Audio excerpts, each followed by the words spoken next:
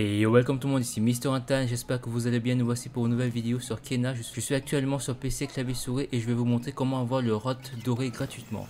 Il vous suffit de vous rendre dans le premier village et de battre les monstres pour accéder au chariot. Après cela, vous pourrez modifier leur apparence et voilà, une vidéo simple et efficace. C'était Mister Hentai, abonnez-vous, laissez un like, ça y en aura.